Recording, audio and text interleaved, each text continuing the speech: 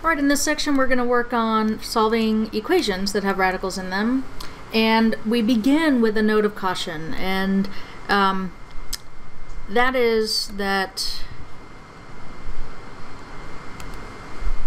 um, it is possible to get extraneous roots with these types of equations, which means, what that means is you can get, you know, through, through making no algebraic mistakes. You can just get results that aren't actually solutions. So you'll find the solutions that, that um, of your equation, but sometimes there could be extra solutions that you find that aren't actually solutions for your equation.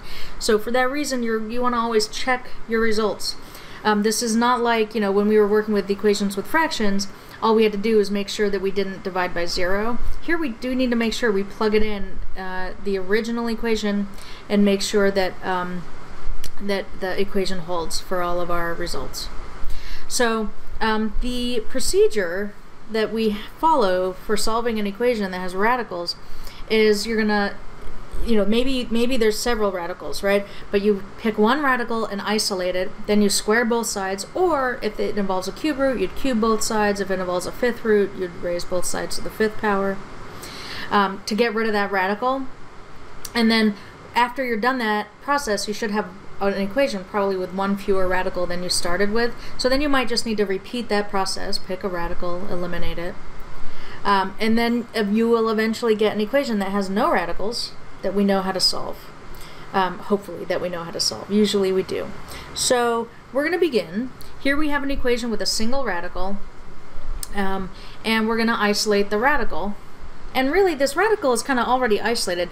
We could choose to divide both sides by 2 um, if we wanted to, but um, what's important is that I'm not adding. I don't have any, you know, plus another radical or plus x or plus 5 like there's no other terms on the left side. The only there's a single term on the left side and involves that radical. So if we want we can um, just start by squaring both sides here and uh, we are squaring a product on the left side. So we're going to distribute this exponent over the product. And when we do that we get 2 squared is 4 and when we square this radical uh, we just get what's inside 3x minus 1 and 3x squared is 9x squared. I'm going to distribute the 4 so we have 12x minus 4 equals 9x squared. This is a quadratic equation, and we know how to solve quadratic equations. We learned about that in the last semester. So I'm going to gather all of my terms on one side. Um, I like having a positive x squared coefficient, so I'm actually just going to throw everything on the right side. I'm going to subtract 12x and add 4. So I have 0 equals 9x squared minus 12x plus 4 and um, I'm going to see if this factors. We, we have other options. We can complete the square if we like, but I think this might factor.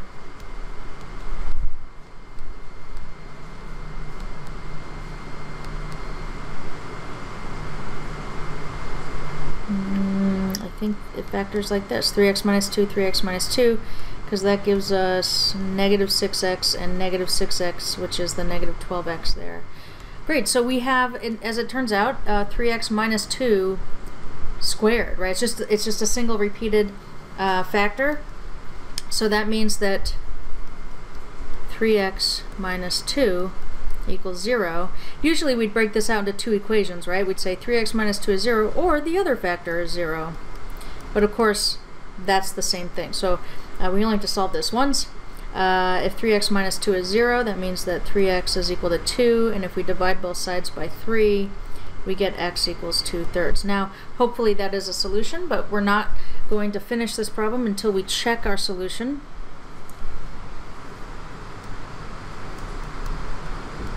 So, uh, the original equation, 2 times the square root of 3x minus 1, so that would be 3 times 2 thirds minus 1, and we want to know, is this equal to 3x, 3 times 2 thirds? Okay, so on the right side, 3 times 2 thirds is 2.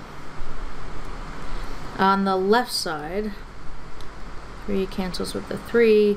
So I got the square root of 2 minus 1, uh, which is square root of 1, which is 1. So that's 2, which does equal 2. So that checks out, which means x equals 2 thirds is a solution.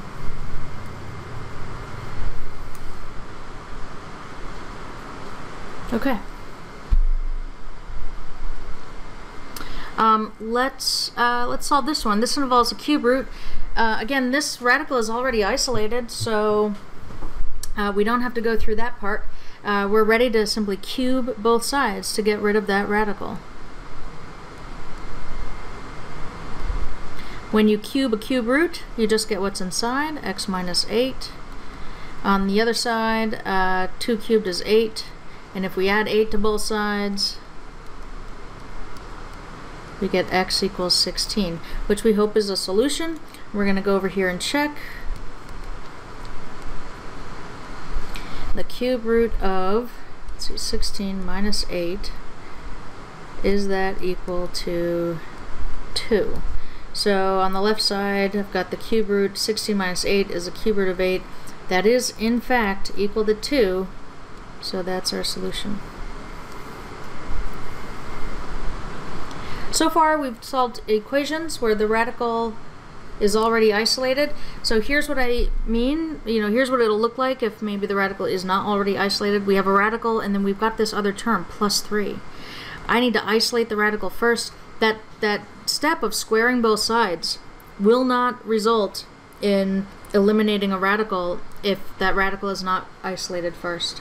So we're going to subtract 3.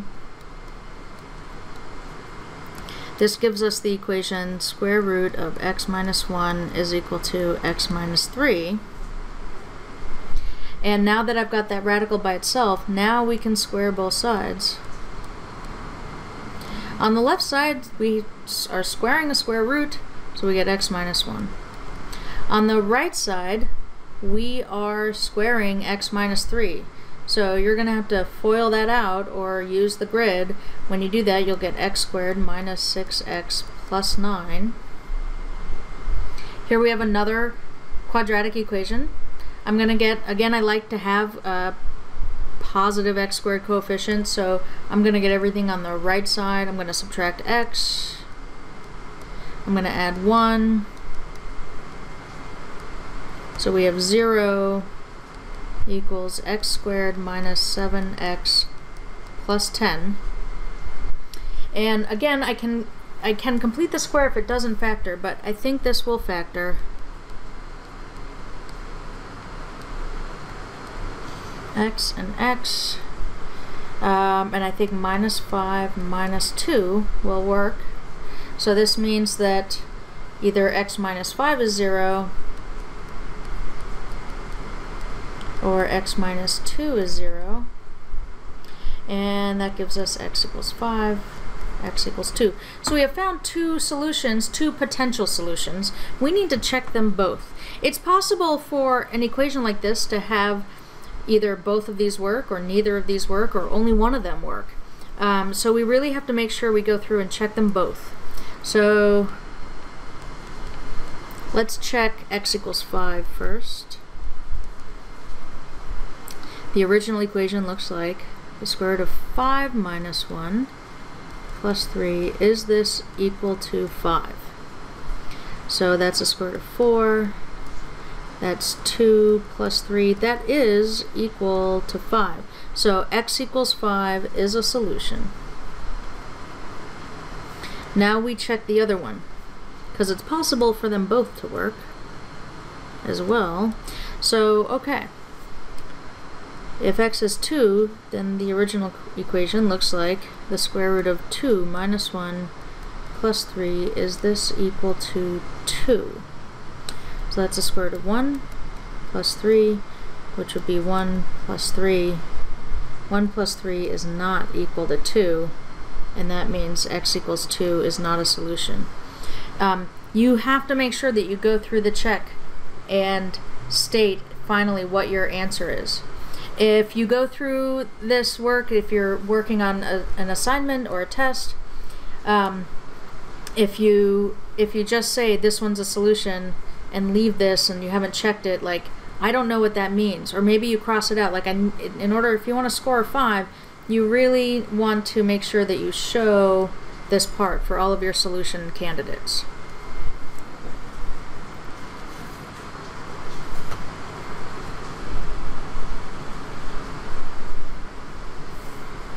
Alright, so now we're going to finish up this section and this chapter by solving this equation. This equation that has two radicals in it. So I need to start by just isolating a radical. It doesn't really matter which one you choose to isolate first.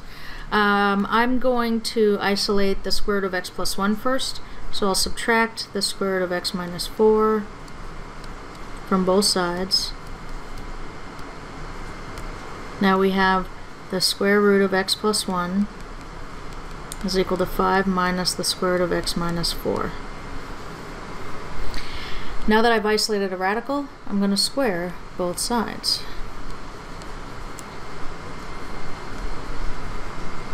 Uh, the left side is easy. I'm squaring a square root, so we get x plus 1. On the right side, remember, we cannot distribute an exponent over addition or subtraction, so I'm going to write out what this means. This is 5 minus the square root of x minus 4 times 5 minus the square root of x minus 4. We need to multiply this out. So I'm going to go up here and make my little grid.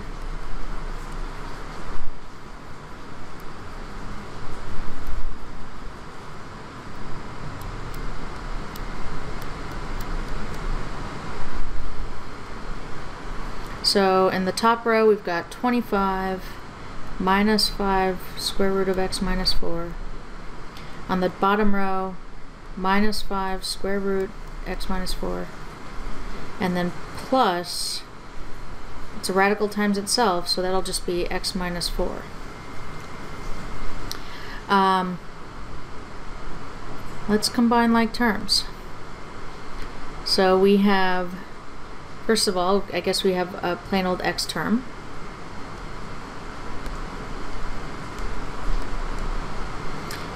Um, we have constants, 25 and a minus 4 is a plus 21. And then we have our radical terms. It's a common radical. We can combine those like terms. That's a minus 10 square root of x minus 4.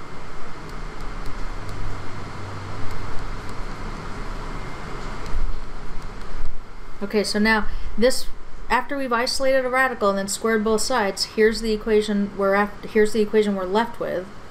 It still has a radical in it, but here's what's important to notice. We started with an equation that had two radicals. This now is an equation with one radical, so we're moving in the right direction.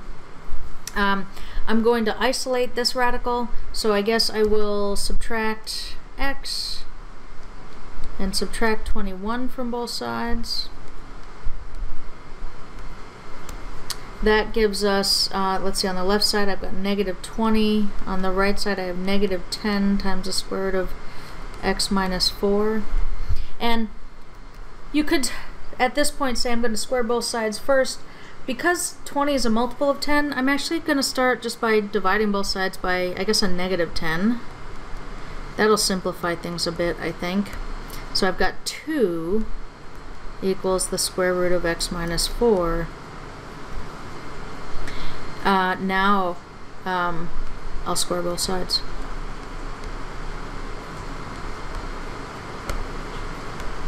So we have 4 equals x minus 4. And that gives us, uh, let's see, if we add 4 to both sides, we get uh, x equals 8, or 8 equals x. So now, before we put this problem to bed, we need to make sure this is actually a solution to the given equation. So we're going to check the original equation. If I plug x, if I plug 8 in for x in the original equation, it looks like square root 8 plus 1 plus square root